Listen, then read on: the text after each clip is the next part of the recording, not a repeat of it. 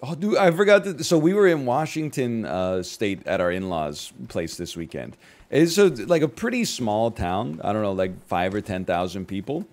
Um, and we were out uh, taking the baby for a walk so she could nap. So we asked our in-laws and our nieces, "Hey, do you want anything from Starbucks?"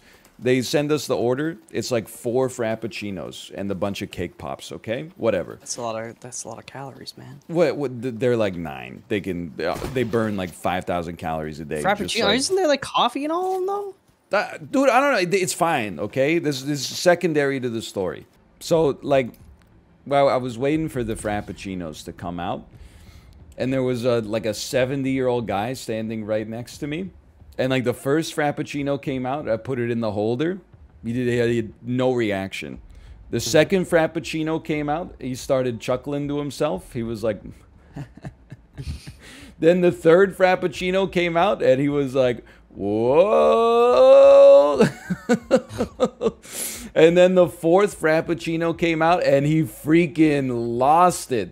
He was like laughing to himself, and, like almost slapping his knee and stuff like that.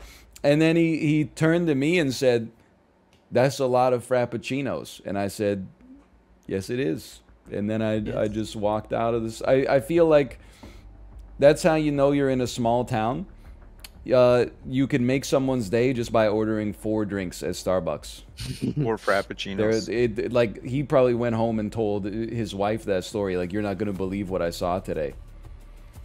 Or frap. Or Some some city slicker from Canada Some came in and had four frappuccinos. oh man. oh man.